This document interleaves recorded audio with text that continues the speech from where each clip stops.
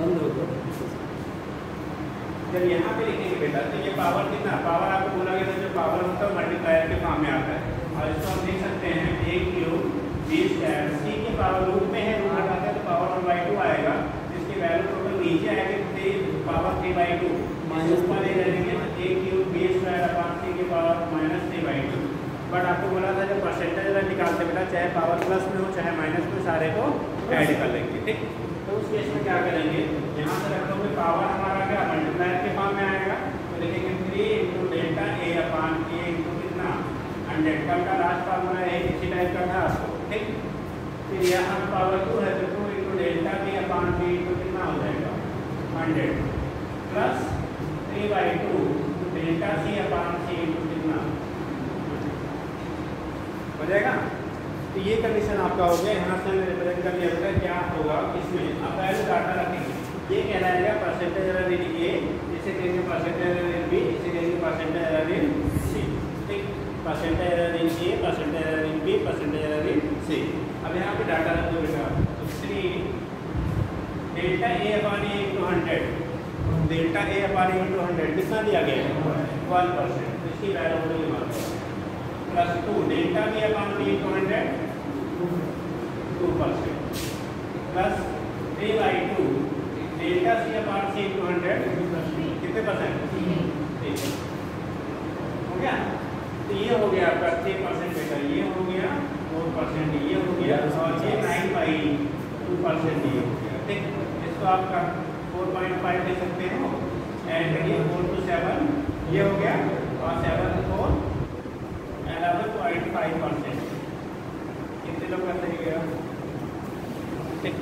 आपके दवा ने रेफर किया वहाँ पे जो वैल्यू आपकी है वो कितनी होगी यहाँ से सब्सिट्यूट करके ठीक है करिए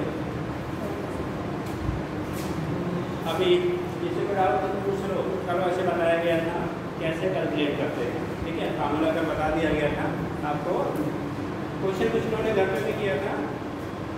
कितने लोग घर पे क्वेश्चन करना भी शुरू कर दिए हैं करना शुरू कर दे अगर सीखना है ठीक है और सिलेक्शन चाहिए तो घर पे क्वेश्चन लगाना शुरू कर दे जो भी बुक आपके पास अभी अवेलेबल हो उसी से करिए ठीक है बट करते रहिए क्योंकि जो यूनिट खत्म हो जाएगी ना तो बैक होकर आप नहीं कर पाओगे ऑलरेडी इतनी स्पीड में चलना है कि आप फिर सोचो कि हम आगे क्या दो चैप्टर का जब कम्प्लीट होगा उसके बाद शुरू करेंगे तो आप कम्प्लीट नहीं कर पाओगे अभी साथ साथ में जितना बता दिया जा रहा है सेम डे उसका क्या क्वेश्चन आप करते चलिए तब जाके कहीं मेहनत होता है ठीक है अभी सोचो कि एक हफ्ता बाद अभी शुभ दिन आएंगे तो हम शुरू करेंगे तो सब तक बहुत कुछ हो जाएगा ठीक जैसे ये जो भी बुक है मान लीजिए दूसरी बुक आपने कंपेटिव नहीं ले पाया क्योंकि जितनी भी आपकी क्या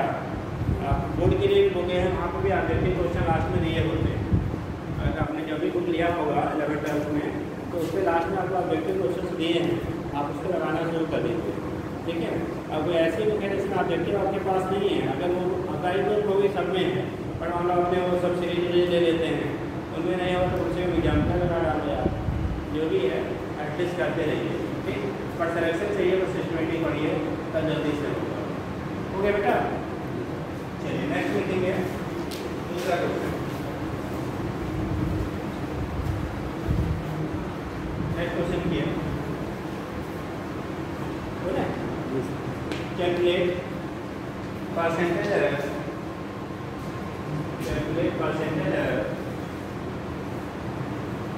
Measurement of percentage error, measurement of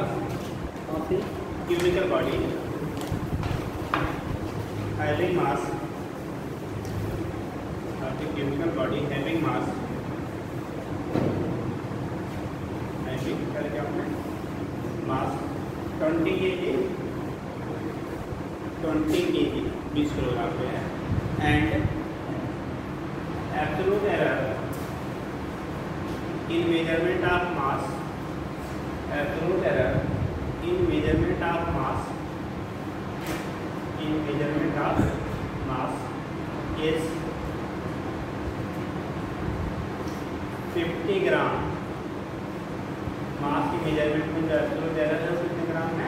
fifty gram देखिएगा if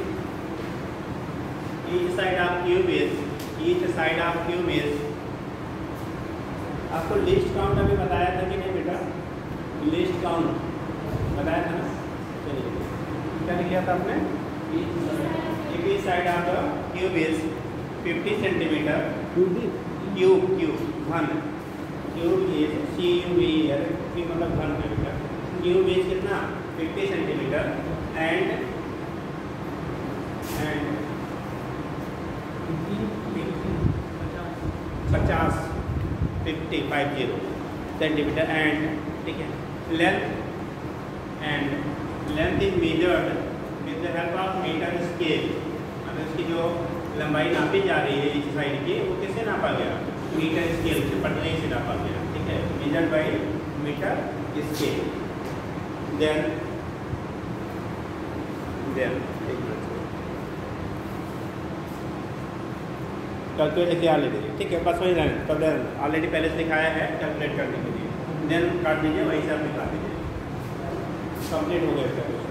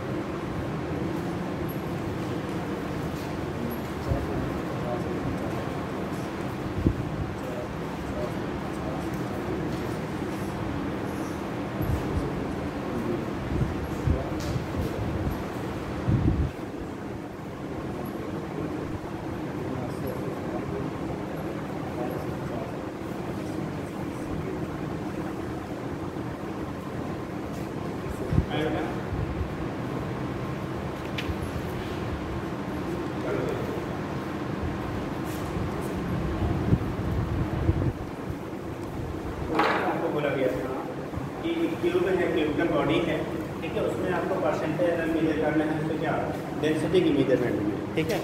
सेंटर पूरा है ना तो कल के द कहाँ गया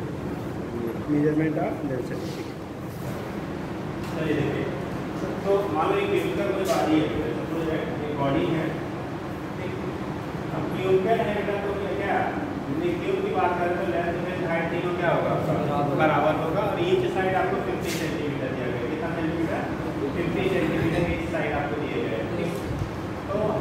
करना है किसमें उसकी डेंसिटी में आपको परसेंटेज एरर की वैल्यू फाइंड करनी है इसमें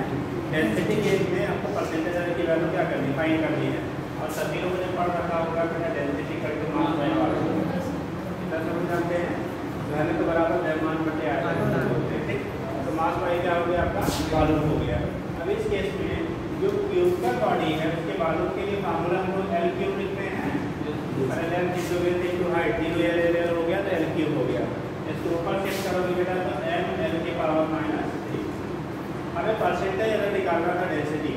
ठीक अब की बात एब्सोलूट एरर दिया गया मास की मेजरमेंट में बट लेंथ के लिए कुछ दिया है क्या आपको लेंथ में एब्सोलूट एरर दिया है लेंथ की मेजरमेंट में अरे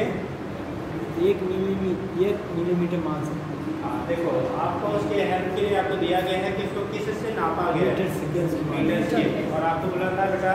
अगर किसी इंस्ट्रूमेंट से कोई क्वांटिटी नापी जाती है तो उसमें जो एब्सोल्यूट एरर होता है वो उसके लिस्ट काउंट के बराबर होता है ठीक है जो नहीं होंगे एग्जैक्ट ले लो लीजिए लिस्ट काउंट अगर किसी इंस्ट्रूमेंट की जो वैल्यू होती है बोला जाता है the minimum value which can be measured by an instrument is called least count of that instrument फिर कहते हैं बेटा किसी यंत्र के द्वारा वो न्यूनतम वैल्यू जिसे हम सही सही नाप सकते हैं वो उस यंत्र का अल्पमान कहलाता है ठीक और अगर किसी क्वेश्चन में आपको एब्सोलूट एरर की वैल्यू नहीं दी गई है बट जिस इंस्ट्रूमेंट से उसको मेजर किया जा रहा है उसका नाम दिया गया है तो उसका जो लिस्ट काउंट होता है वही वहाँ पे एब्सोलूट टेरर के हम लोग क्या लेते हैं इक्वल लेते हैं ठीक तो यहाँ पे आपको लेंथ किससे मेजर किया गया मीटर मीटर स्केल आपको नाम दे दिया गया तो मीटर स्केल के लिए आपको लिस्ट काउंट बताया था कितना होता है मीटर स्केल की लिस्ट काउंट वन मिलीमीटर या जीरो पॉइंट वन सेंटीमीटर ठीक तो वहाँ पे इंफॉर्मेशन आपको दिया गया है अब यहाँ पे आपको एब्सोलूट एरर नहीं दिया था इसीलिए नाम दे दिया गया इंस्ट्रूमेंट का ठीक तो निकालें delta D M R D into hundred equal to delta M upon M into hundred क्योंकि पावर आपका माइनस में है लेकिन हमें निकालना है क्या परसेंटेज तो चाहे प्लस में हो चाहे माइनस में क्या करेंगे आप उसको तो प्लस में कर लेंगे तो ये आएगा थ्री पावर आपका मल्टीप्लायर में आएगा delta L by L into hundred आप कर लेंगे ठीक तो यहाँ पे वैल्यू सब्सिट्यूट करके हम लोग क्या निकाल देते हैं परसेंटेज अगर निकालना है हमको बेटा डी तो यह हो जाएगा delta D upon D into hundred equal to delta M by M mass में आपको ऑलरेडी दिया है कितना दिया बेटा फिफ्टी ग्राम फिफ्टी ग्राम अगर यूनिट आपको चेंज रखना पड़ेगा अगर ऊपर ग्राम है तो नीचे भी आप ग्राम लीजिएगा मास बॉडी का कितना दिया गया था ट्वेंटी किलोग्राम ट्वेंटी के ट्वेंटी थाउजेंड हो जाएगा तो ठीक into hundred plus three into की वैल्यू पॉइंट वन आपको दिया है फिफ्टी सेंटीमीटर फिफ्टी दिया है ना ठीक है इंटू हंड्रेड तो ये कंडीशन आपका जो हो रहा है यहाँ से होगी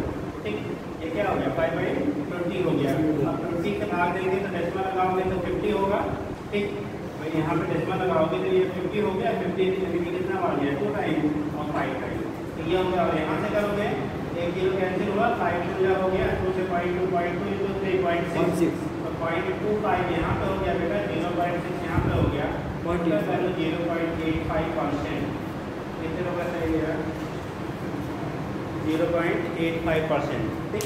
ट्राई करिए देखो दो चीज़ें हैं आपको जैसे बहुत सारे लोग एक चीज़ अभी प्रॉब्लम होगी आपको दस पंद्रह दिन सबके लेवल यहाँ पर अलग अलग अलग अलग से मतलब कोई थोड़ा तो अच्छे से पढ़ा है थोड़ा कम पढ़ा है कहीं पढ़ाया गया हुआ कहीं नहीं पढ़ाया गया हुआ कई फैक्टर्स है ठीक तो उस केस में जो नहीं पढ़े हैं या नहीं पढ़ाया गया है थोड़ा सा पहले जब तो आपको समझाई जाए चीज़ें ना खास करके कॉन्सेप्ट समझाए तो बहुत केयरफुली समझा ठीक क्वेश्चन तो उसी पर रहेगा जो आपके कॉन्सेप्ट रहेंगे तो क्वेश्चन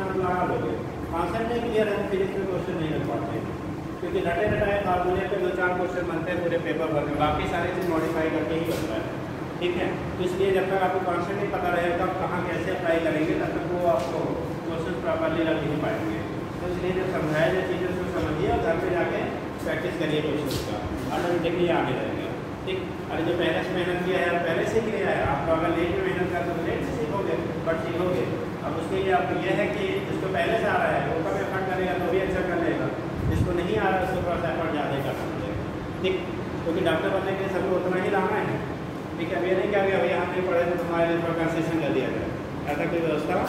नहीं है ठीक है तो अगर बनना है तो आपको वो चीज़ें मैनेज करनी पड़ेगी चलिए ठीक देखिए बेटा तो ये तो हो गया हमारा मेरठ पे कैसे हम निकालते हैं बेटा ठीक है वहाँ से उसके बेच में रिप्रेजेंटेशन हो जाता है ठीक है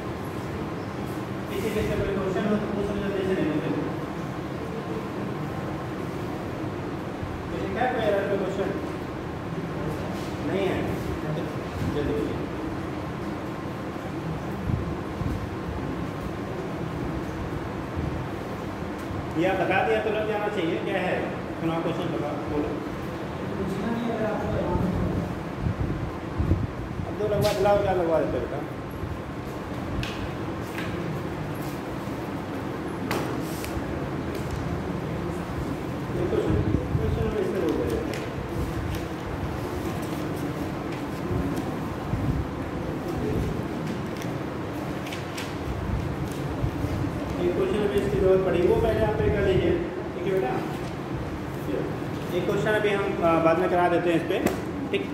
आप पहले कर लीजिए उसमें कभी नहीं रख लो दूसरा यूज़ कर पाते ठीक अभी आपको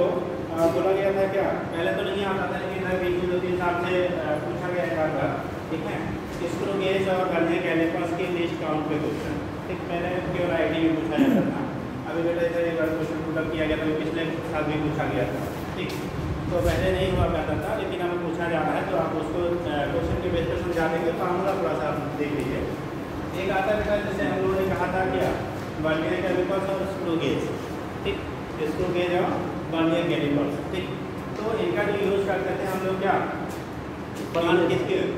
डिस्टेंसर के यानी ये पैरामीटर को मेजर करने के लिए हम लोग इसको यूज़ करते थे जैसे आपको बोला गया था मीटर स्केल के लिए आपको जब डिस्काउंट बता बोला गया था क्या वन वन मिलीमीटर या पॉइंट वन सेंटीमीटर आपने वन ईयर के रिफर्स लिखा था तो उसका क्या डिस्काउंट के बारे में लिखा था क्या पॉइंट वन मिलीमीटर या जीरो पॉइंट वन सेंटीमीटर और जब आप इसको गेज का लिखा था तो zero point zero one millimetre या zero point zero zero one centimetre लिया था ठीक तो इसका मतलब जो एक्यूरेसी है वो स्क्रो गेज की मेजरमेंट की इन तीनों इंस्ट्रूमेंट में सबसे क्या है ज़्यादा होगी जिसका डिस्काउंट जितना कम होता है उतना ही उस इंस्ट्रूमेंट से हम ज़्यादा एक्यूरेट मेजरमेंट देते हैं जैसे एग्जाम्पल शायद आपको बताया था कि आप कोई सामान खरीदते हो तो अलग अलग जगहों पे आपको मेजरमेंट की तो रेसी जो होती है अलग अलग होती है बताया था ना कहानी सुनाई थी मैं सुनाई थी एक मिनट जल्दी सुन लीजिए तो समझ जाएंगे जल्दी जैसे होता है हम लोग यूपी वाले बस्ती वाले हैं ठीक है सभी लोग जानते होंगे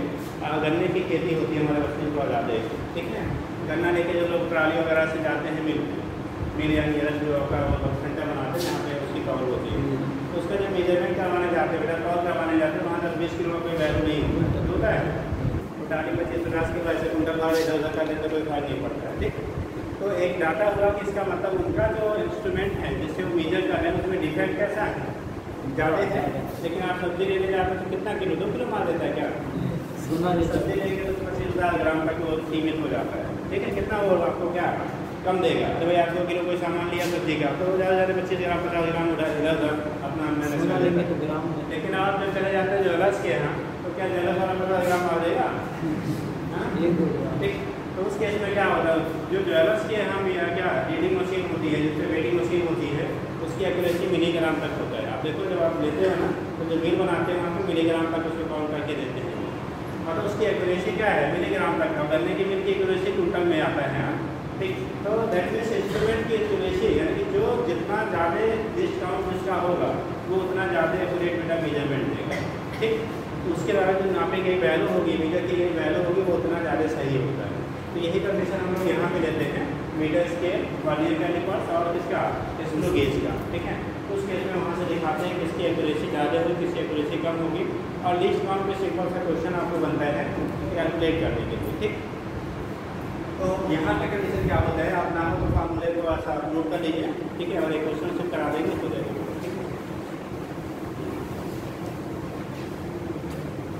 कल के vernier calipers vernier callipers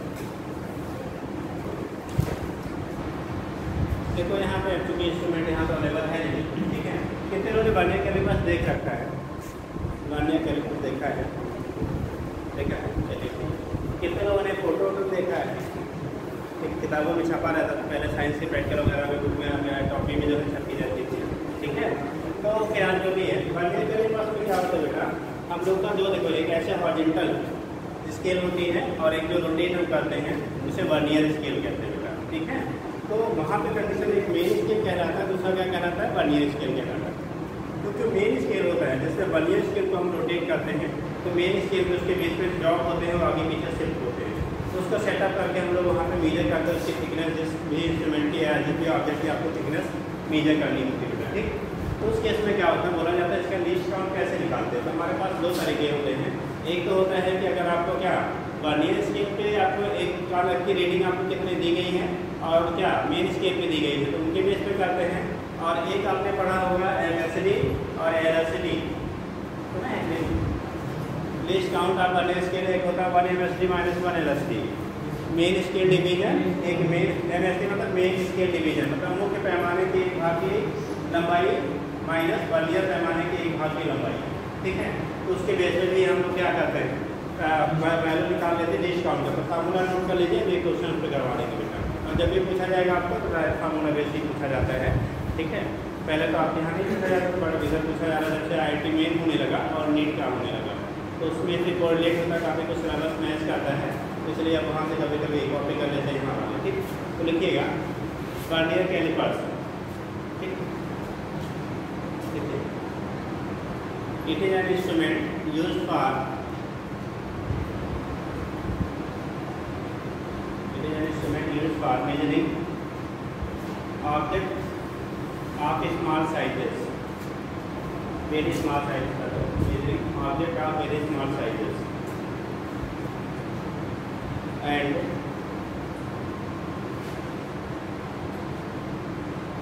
and its least count is and its least count is 0.1 millimeter or 0.01 centimetre इसका जो लीस्ट काउंट होता है बेटा लिस्ट काउंट मतलब कितना न्यूनतम सही सही नाप सकते हैं इसको कहेंगे लीस्ट काउंट तो काउंट की वैल्यू 0.1 मिलीमीटर या जीरो पॉइंट जीरो वन क्या होता है आपका सेंटीमीटर होता है क्या रहेगा मसल लीजिए इसका अब कैसे भी डाउन हम डिटरमाइन करते हैं तो वैल्यू डायरेक्ट आपका है कितना होता है कैसे हम लोग उसकी वैल्यू फाइंड करते हैं क्योंकि डाउन पे आपको क्वेश्चन करता है तो लिखिएगा नीचे दो फार्मूले हम लोग यहाँ से रिलेट करते बेटा discount discount equal to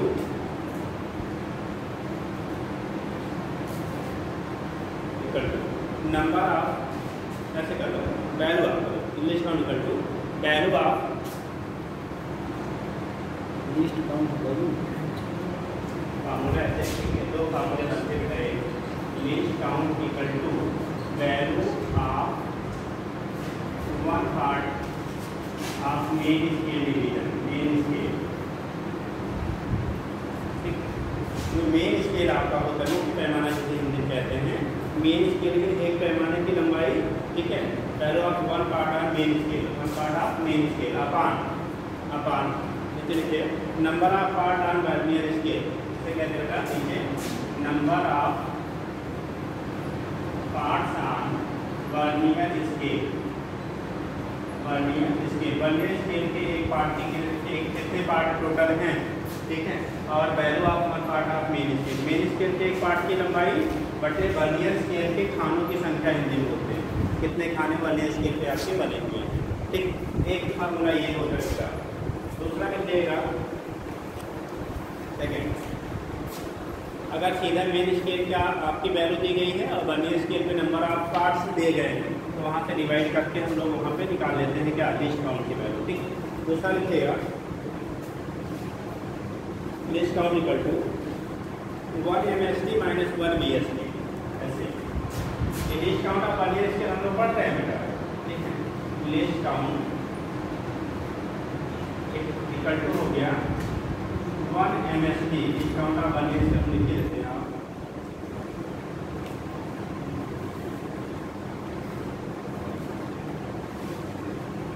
earlier scale equal to one M S D main scale division से बोलते हैं बेटा ठीक क्या बोलते हैं अभी नहीं देखेंगे माइनस वन क्या B S D one S D यहाँ पे लिखेंगे पैर one M S D M S D का जो होता है एम को बोलते हैं मेन स्केल डिवीजन क्या बोलेंगे मेन स्केल डिवीजन और बी एस डी क्या बोलेंगे बेटा वर्नियर मेन स्केल डिवीजन दूसरा हो गया वर्नियर स्केल डिवीजन एक हो गया हमारा मेन दूसरा क्या हो गया वर्नियर स्केल डिवीजन तो अगर मेन स्केल डिवीजन के एक खाने की लंबाई आपको दी गई है और वर्नियर स्केल डिवीजन की एक खाने की लंबाई दी गई है तो उनमें से सब्ट्रैक्ट कर लीजिएगा आपको next count of vernier scale मिल जाता है वर्नियर कैलिपर्स जो है ठीक है वर्नियर कैलिपर्स लिखिएगा वर्नियर कैलिपर्स लिखिएगा तो वर्नियर कैलिपर्स का जो नेक्स्ट होगा one M S T minus one B S T के बराबर होगा और M S D minus one B S D अब एक चीज़ है जैसे मान लो आपको टोटल ठीक है ये बर्नियर स्केल है उसकी एक खाने की जो लंबाई होगी उसको और मेन स्केल मेन स्केल मतलब इससे मुख्य पैमाना कहते हैं मेन स्केल के खाने की लंबाई दोनों का डिफरेंस ले लीजिएगा वहाँ से आपको डिस्काउंट की वैल्यू मिल जाएगी अगर आपको value of one part of main scale दिया गया है और टोटल जितने पार्ट आपके बर्नियर पैमाने पर हैं बर्नियर स्केल पर उनके वैल्यूज दी गई हैं तो वहाँ से डायरेक्ट रेशियो करके हम निकाल सकते हैं दो चीज़ें हो गई आपके इसके बेस पे इन दो फार्मूले की हेल्प से हम फाइंड कर लेते हैं दूसरा लिखेगा least count of of least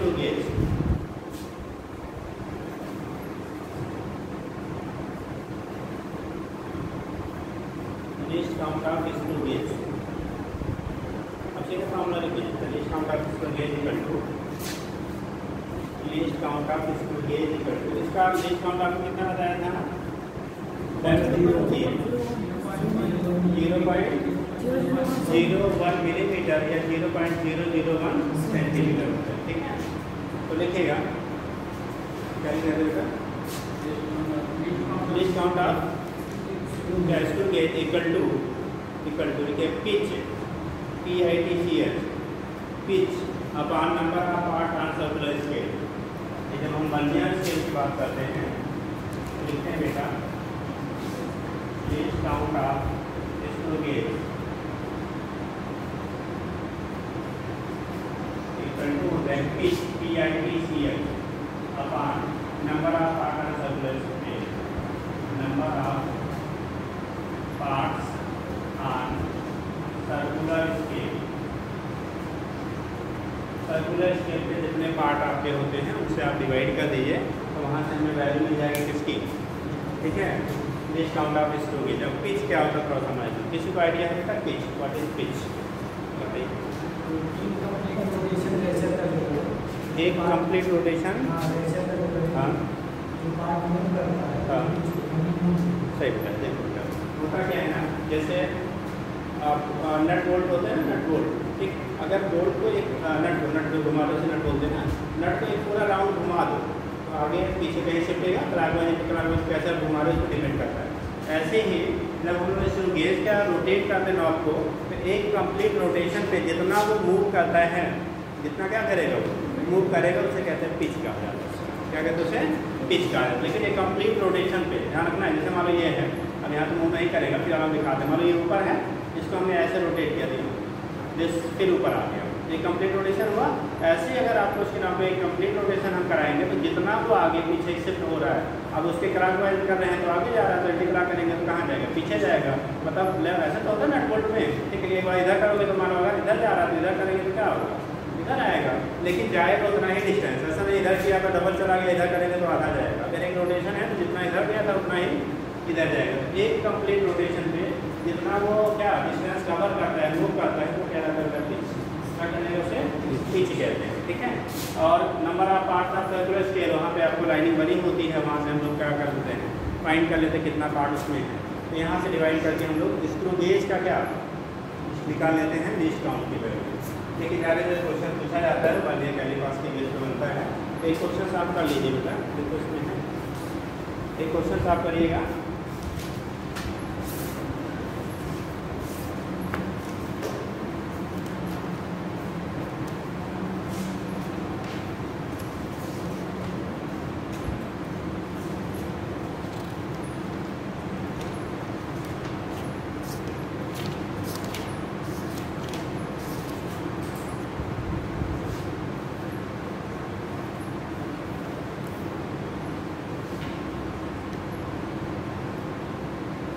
देखिए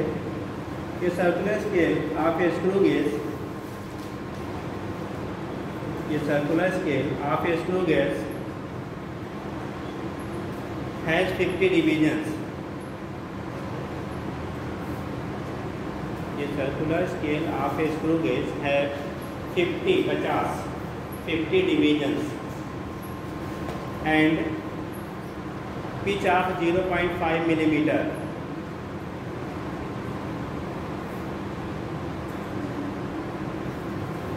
चाप 0.5 मिलीमीटर हो गया find the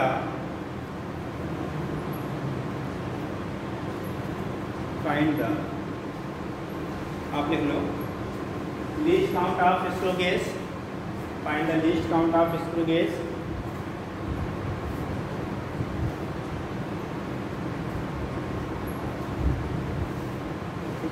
and diameter of a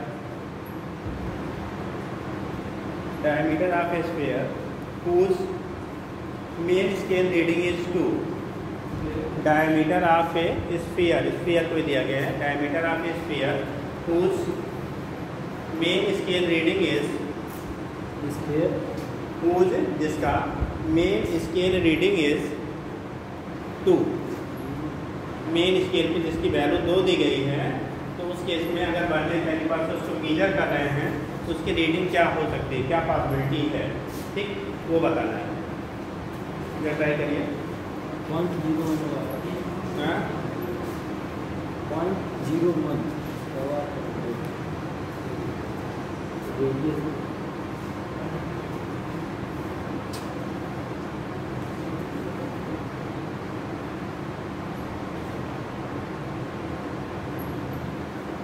diameter आपको निकालना है स्पेयर का बेटा क्या निकालना है डायमीटर और मेन स्केल पर रीडिंग कितनी दी गई है आपको टू दी गई मेन स्केल पर रीडिंग कितनी दी गई है टू दी गई है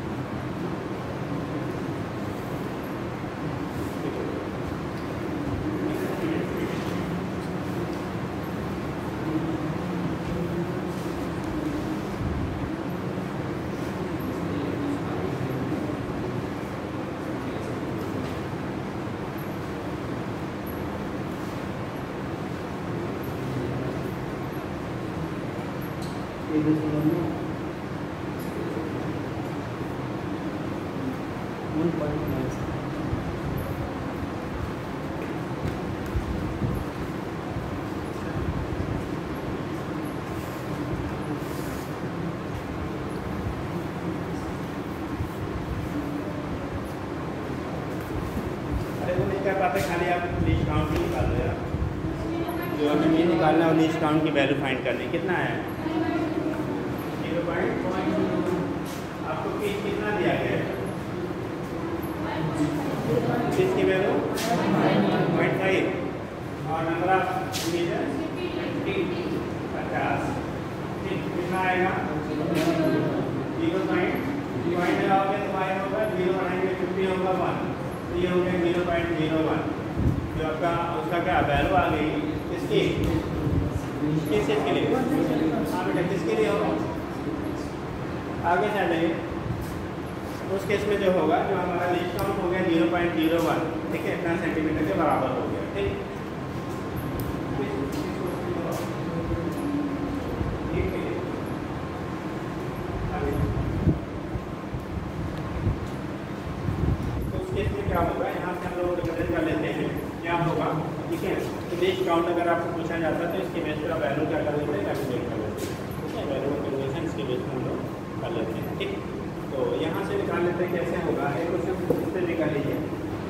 दिया गया है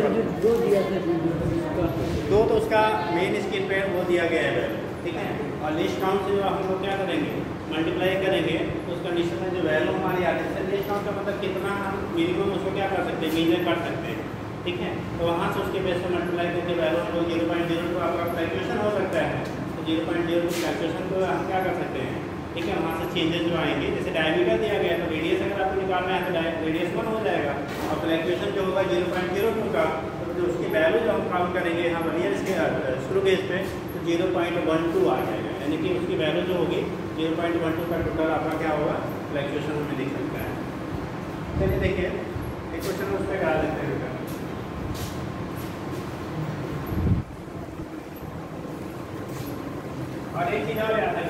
में बहुत आपको नहीं आएगा तो जनरल में जो डाटा दिया जाता है ना जब डिस्काउंट निकालना होता है तो उतना ही मिलता है जो हमारा फिक्स है कभी कभी चेंज करते हैं ऐसा नहीं हंड्रेड परसेंट हमेशा नहीं रहता कभी कभी चेंज बट अगर नहीं आएगा तो आप के ले सकते हो जैसे आपको नहीं आ रहा है कुछ उसमें आपका क्या एस केस का डिस्काउंट फाइन करना है डाटा दे दिया गया है आपको नहीं आ रहा है तो ले लेके मार सकते हो नाइन्टी नाइन परसेंट केसेज में सही हो जाएगा वन परसेंट आपको मे भी अगर डाटा दे तो डाटा भी डिपेंड करता है एक आप वाले लिए पास में भी कर लीजिए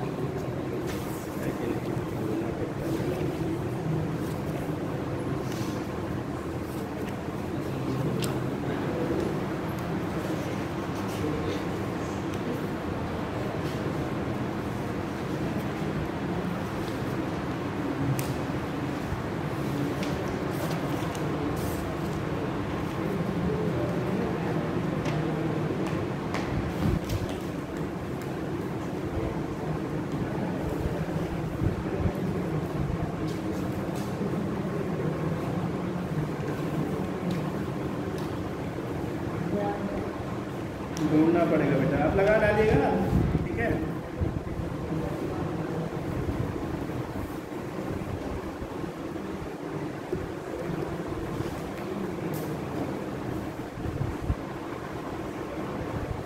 ये ऐसे थे बता दो इसमें जय मैं इसका क्वेश्चन था ये student measure the length of a rod and rod it is five three point five zero centimetre ठीक which instrument did he use to measure it बोला गया है एक बेटा कोई इंस्ट्रूमेंट है एक कोई स्टूडेंट है तो किसी राड की लेंथ को मेजर करता है वो किसी राड की मान लो राड है राड की लेंथ को मेजर करता है राड की जो लेंथ फिक्स है वो मेजर करके three point zero five centimetre कितना लिखा three point zero five centimetre तो इसके मेजरमेंट के लिए कौन सा इंस्ट्रूमेंट यूज़ किया होगा मीटर स्केल गार्डियर के पास ठीक है स्क्रू गेज दो कौन सा यूज़ करेगा वो screw gauge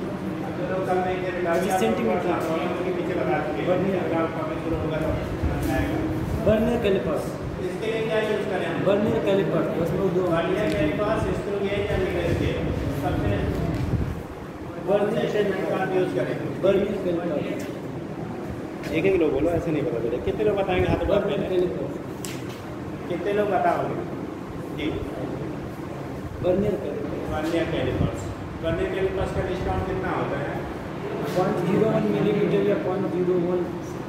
जीरो यहाँ डाटा सेंटीमीटर में दिया है बेटा इसी तरह से हम इसको एक्यूरेटली मेजर कर सकते हैं तो आप देखो अगर कहा जाए ऑप्शन है सुनो ऑप्शन के गाड़ी आंसर बदलते हैं ठीक है आपके यहाँ जो एग्जाम होता है वहाँ पे कभी कभी बहुत सारे कुछ क्वेश्चन ऐसे होते हैं जो ऑप्शन डिसाइड करता है कौन सा उसमें करेक्ट करेंगे ठीक जैसे यहाँ पे अगर दिया गया है इसको हमें मेजर करने के लिए कौन सा इंस्ट्रूमेंट करेक्ट होगा किससे हम मेजर कर सकते हैं ठीक तो उस केस में पहला का दिया गया है मीटर स्केल दूसरा दिया गया है क्या वर्नियर कैलिपर्स वर्नियर कैलिपर्स दिया गया है और तीसरा क्या दिया गया था क्या चीज इसको गेज दिया गया है इसको गेज दिया गया ठीक और चौथा दिया आराम गेज आराम गेज सभी के द्वारा तो कौन सा सही है मीटर स्केल तब कौन सा करंट लेंगे आना दे मीटर क्या इसको मीटर स्केल से नाप सकते हैं क्या मीटर स्केल का डिस्काउंट पॉइंट वन सेंटीमीटर तक ही है डेसिमल के वन डिजिट तक होते हैं और यहाँ वैल्यू पॉइंट जीरो फाइव है मतलब दो डिजिट है डेसिमल का और उसके लिए मेजरमेंट के लिए हम मेजर जो कर सकते हैं वो या तो या तो स्क्रू गेज ठीक अब देखो ऑप्शन कैसे बनेगा आप क्वेश्चन कौन सा सही करेंगे ठीक अगर बेटा यहाँ पे जैसे आपको लेंथ दी गई है मीटर स्केल से आपको मीटर स्केल के लिए हम कितना लिखा था जीरो पॉइंट वन सेंटीमीटर बलिया गैस पास के लिए कितना लिखा था zero point zero one centimetre और जब स्क्रू गेज के लिए लिखा था तो zero point zero zero one ये डिस्काउंट होता है डिस्काउंट का जो मिनिमम उस सही से नाप सकते हैं बेटा यहाँ पे डेसिमल के वन डिजिट का ही मीटर स्केल से हम लोग नाप सकते हैं और जबकि यहाँ पे डेसिमल के दो डिजिट तक दिया है तो मीटर से कैसे तो नहीं नाप सकते ना ये तो हो ही नहीं सकता है तो अगर ये नहीं हो सकता तो आराम दीज भी नहीं हो सकता है दो ऑप्शन चले गए आपके ठीक तो अब कंडीशन क्या होता है कि अगर आपको इनमें से चूज करना है क्वेश्चन का लैंग्वेज डिसाइड करेगा कौन सा ऑप्शन होगा which is the most which is most accurate reading कौन सा देगा तो मोस्ट एक्यूरेट की कंडीशन कही जाए क्योंकि इससे भी डिस्काउंट इसका ज्यादा होगा तब तो हम इसको मारेंगे लेकिन अगर ये ऑप्शन आपके पास नहीं है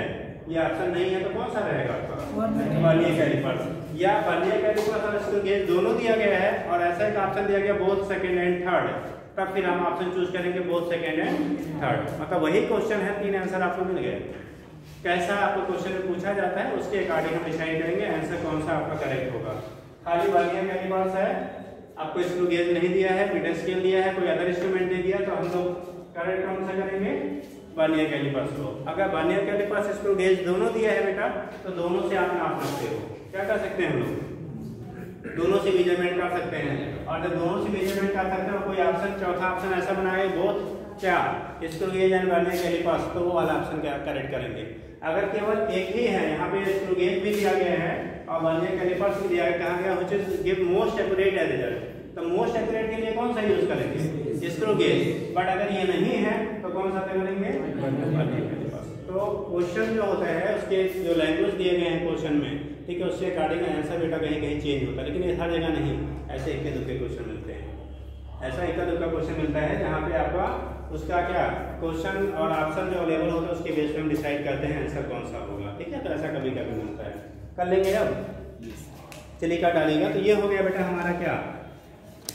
यूनिट डायमेंशन एंड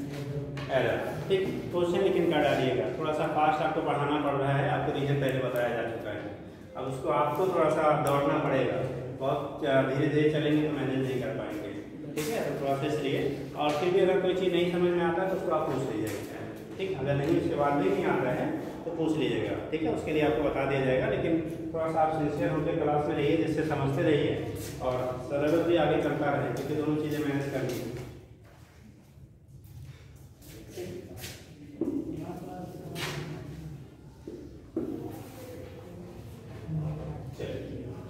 तो ये केस हो गया बेटा आपने यहाँ से दिखा दिया ठीक है नेक्स्ट आपका है अगला ये तो यूनिट आपके हो गए यूनिट ठीक है मेजरमेंट एंड क्या डायमेंशन एरर ठीक नेक्स्ट आपका यूनिट आता है बेटा वेक्टर क्या कहें है वेक्टर आप हाई स्कूल से वेक्टर पढ़ रहे हो ठीक है हाई स्कूल से ही आप लोगों को वेक्टर पढ़ाया जाता है ठीक कितने लोग बताएंगे वेक्टर और स्केलर नेक्स्ट आप क्या है वेक्टर अब जो लोग नहीं कर पाते थे अब उनके लिए आज कोई यह प्रॉब्लम नहीं है नया टॉपिक शुरू होगा तो समझ में आएगा ठीक ठीक नया है तो आपको कोई बना रहा हो तब रहा हो नहीं पड़ेगा लेकिन अब कोई टॉपिक चल रहा है बेटा कोई अगले दिन बीच बीच में पहुँचेगा तो थोड़ी बहुत उसको दिक्कत आएगी आएगी ठीक चलिए वैक्टर और स्केलर बेसिकली हम लोग जो बोर्ड लेवल पे पढ़ते थे तो वहाँ पे डिफाइन किया जाता था कि क्वांटिटी को दो पार्ट में डिवाइड करते थे एक स्केलर में दूसरा वैक्टर ठीक यहाँ पे कंडीशन क्या है कम्पिटिव लेवल पे एक अनदर क्वांटिटी आती है टेंसर जिसे हम बोलते हैं हाँ बताइए तो उस केस में तीसरी क्वांटिटी क्या होती है आपकी टेंसर बोला जाता है ठीक है वेक्टर स्केलर और टेंसर ठीक किसी को आइडिया है क्या होता है अरे वेक्टर स्केलर तो एटलीस्ट पढ़ा है ना वही बता दो इसमें दिशा जी जिसमें सिर्फ मैग्नीट्यूड इज फॉर स्केलर बाकी एक्शन मैग्नीट्यूड और वेक्टर जो या वो वेक्टर हम्म। और टेंसर पैटर्न टेंसर सर जो मतलब पैटर्न लॉ ऑफ फार्मोलरी मतलब डायरेक्शन ऑफ मैग्नीट्यूड बहुत इंपॉर्टेंट है जैसे करंट बैठ सही बताया तुमने देखो होता क्या है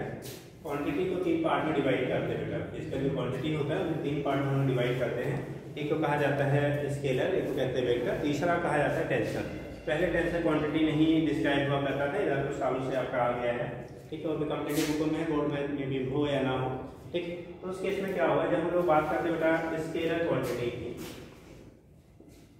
स्केलर क्वांटिटी तो देखो क्या होता है स्केलर बोला जाता है scalar quantity are those quantity ठीक है तो are representation of which only magnitude will be required ठीक है जिसके लिए केवल हमें परिमाण की जरूरत होती है मैग्नीट्यूड की रिक्वायरमेंट होती है उसे हम लोग कह देते हैं क्या स्केलर क्वांटिटी ठीक है तो यहाँ पे टाइमिंग ओनली मैग्नीट्यूड क्या लिखते हैं बेटा ऐसे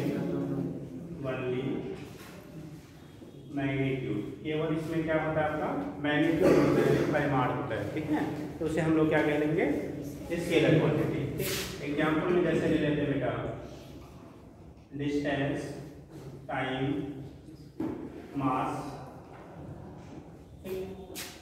speed work energy potential ठीक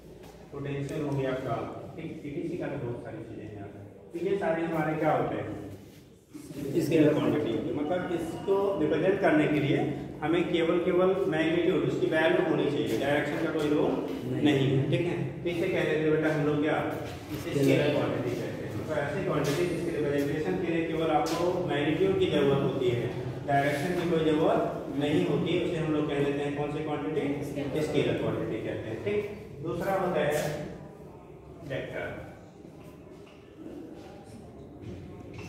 वेक्टर क्वांटिटी के लिए जब आप लोग पढ़ते हैं बेटा देखो हाई स्कूल लेवल पे जब पढ़ते हैं ना तो हमने डिफाइन करता था those quantity which having both magnitude and direction are called vector but वो गलत है डिफिनेशन ठीक है वो डिफिनेशन इलेक्ट्रिक करंट के लिए भी फॉलो होता है बट इलेक्ट्रिक करंट इज क्या पहले स्केलर में काउंट करते थे अभी टेंशन में काउंट करते हैं जब टेंसर के बारे में नहीं इंफॉर्मेशन था तब उस केस में हम लोग किस पर उसको काउंट करते थे इसके इधर काउंट करते थे बट अभी जब उसको कैटेगराइज कर दिया गया तो आज की डेट में जो उसकी काउंटिंग होती है किस पर करते हैं हम लोग ठीक है अब टेंसर क्वान्टिटी में हम लोग उसको काउंट करते हैं ठीक तो यहाँ पर जो कंडीशन आपका हो रहा है कौन सा है वेक्टर क्वान्टिटी के लिए जब करेंगे तो कहा जाता है ठीक है मैग्नीट्यूड प्लस क्या डायरेक्शन और प्लस फॉलो वेक्टर लॉ क्या कहते हैं वेक्टर लॉ को भी क्या करना चाहिए फॉलो करना चाहिए ठीक है मतलब उसके पास मैग्नीट्यूड हो डायरेक्शन हो और वेक्टर लॉ को फॉलो करे अभी आगे आपको पढ़ाया जाएगा वेक्टर लॉ में ठीक है triangle law vector addition and parallelogram law vector addition आपने पढ़ रखा होगा एटलीस्ट सभी जगहों पे लेकिन उस समय कोरोना काल चल रहा था ना तो शायद हो सकता है कुछ लोग पढ़े हैं कुछ लोग ना पढ़े हैं ठीक है तो कंडीशन हो गया जिनके पास क्या हो मैग्नीट्यूड हो प्लस डायरेक्शन हो वेक्टर आपको फॉलो करें हिंदी कहेंगे ऐसी आपके अरेंजमेंट का परिमाण और दिशा दोनों हो साथ ही वेक्टर के नियमों का पालन करें उसे कह देते हैं कौन सी क्वांटिटी वेक्टर क्वांटिटी कहते हैं एग्जाम्पल हम लोग ये बेटा डिस्प्लेसमेंट डिस्प्लेसमेंट हो गया ठीक आप ले लेते हो क्या वेलासिटी एक्सीलेशन ये गैलेक्सी एक्सेलरेशन है बेटा ठीक का मोमेंटम मोमेंटम मतलब संवेग मोमेंटम ठीक है force torque electric and magnetic field torque क्या है बल आप बोलते हैं बल आप बल आप बोलते हैं ठीक electric and magnetic field electric and magnetic field जो इलेक्ट्रिक और क्या होता है आपका मैग्नेटिक फील्ड होता है ठीक है अब करंट है चीज एक बार एक क्वेश्चन पूछा गया था current is scalar quantity is why time density is vector quantity current जो होता है वो स्केलर क्वांटिटी तब लेते तब टेंशन नहीं लेते थे वो उस जमाने का क्वेश्चन है जब करंट को स्केलर में काउंट किया जाता था तो टेंशन के बारे में इंफॉर्मेशन नहीं था तो उसके क्वेश्चन पूरा किया गया था current is scalar quantity but current density is vector quantity why reason आपका होता है जो करंट जैसे कि आपने पढ़ा होगा ये equal to I by A पढ़ा है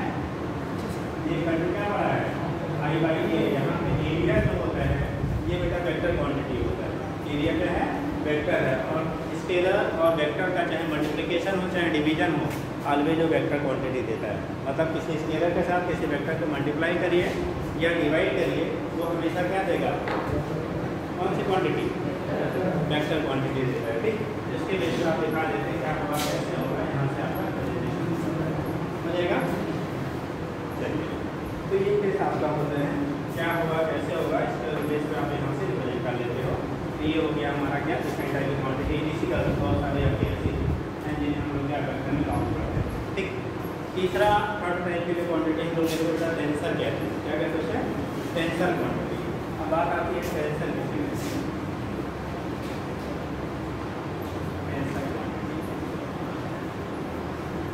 डिफरेंशिएशन भी लेते बेटा जो कम्प्लीटली नाइदर क्या लाइक द स्केलर ना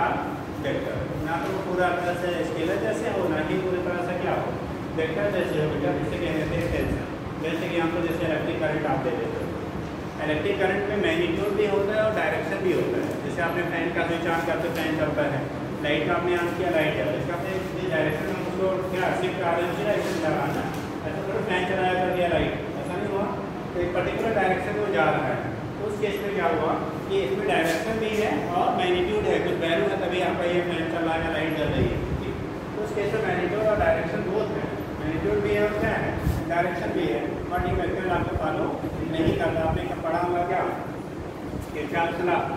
याद है किसी को Kirchhoff first law Kirchhoff second law Sandeep Kirchhoff first law को आप जंक्शन आ जाए किसी जंक्शन पॉइंट आने वाली धाराओं वही करंट दोनों सेम सेम रहते थे टोटल इनकमिंग करंट की वैल्यू जो होती थी टोटल आउटगोइंग करंट में क्या होता था बराबर होता था उसी को हम लोग कहते थे कि आपके चार फार्मूला कहते थे तो अब वहाँ भी नहीं कहा जाता बेटा नाइन्टी पे आएगा तो जितना करंट होगा और दूरी में जब फोर्टी पे आएगा कितना तो होगा किसी भी एंगल से आप ले जाते थे चाहे कोई भी एंगल होता था अगर करंट जो टोटल आ रहा हमें फोर यूनिट या थ्री यूनिट तो हमें ही कितना होता था सेवन यूनिट ही मिलेगा अगर ये फाइव एम्पियर है ये थ्री एम्पियर है ये सेवन आता है अगर वेक्टर तो वेक्टर ऐड करते हैं ठीक इसीलिए कहा जाता है ये है डायरेक्शन है बट वेक्टर आपको फॉलो नहीं करता है इसीलिए आज के डेट में इसे हम लोग इसमें रखते हैं ठीक तो दो क्वांटिटी है बट उसका फॉलो नहीं इसलिए आपने पढ़ा वो मोमेंट ऑफ इनर्शिया इसलिए कहते हैं जड़ हो ठीक ना जड़ हो ठीक तो वो जो मोमेंट ऑफ इनर्शिया होता है आपसे टेंसर क्वांटिटी इसको वेरिएबल में काउंट करते हैं टेंसर तो तो में सो हो गया बेटा tensor quantity those quantity which is neither as scalar नाम है वेक्टर कितने लीजिएगा जड़ का गुण हाँ? की भी इसका बोलो जड़ का गुण दो क्वांटिटी यहाँ लीजिए टेंसर में ये लिख है नोट कर लीजिए इसको नोट कर लीजिए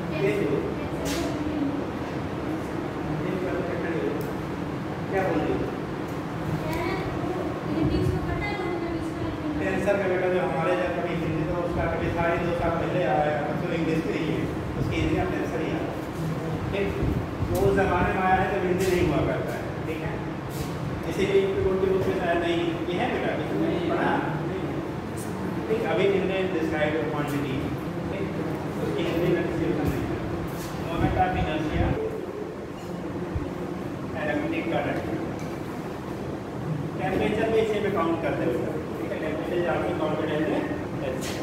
ठीक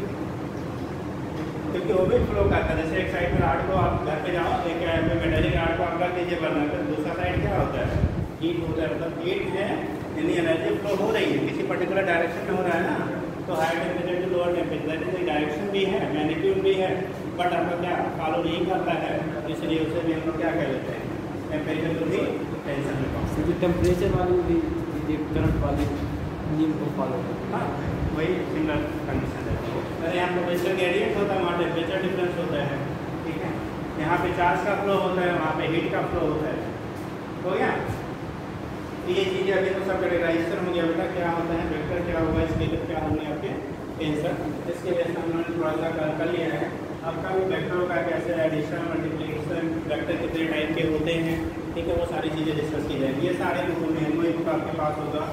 और कंप्लीटिंग नॉन कंप्लीटिंग जो भी आपके पास है इवन आपकी जो गाइड वाइड छोटी सी बनते हैं तो उसकी बेटा सीरीज रिलीज उसमें भी ए बी सी डी को दिया ही होगा तो कष्ट करके पढ़ के आइएगा ठीक है पढ़ के आइएगा वेक्टर का हम लोग सब कल इतना बताना है vector its type addition subtraction multiplication division ठीक है ये चीज़ें इतनी कल आपको क्या करनी है कंप्लीट कर देना नहीं उतना तभी समझ पाएंगे जब एक बार देख आएंगे अभी नहीं कह रहा आप पढ़े होंगे पढ़े होंगे फिर भी भूल जाता है ठीक है उस तो चीज़ का एक बार अच्छा व्यवस्था पढ़ के आइए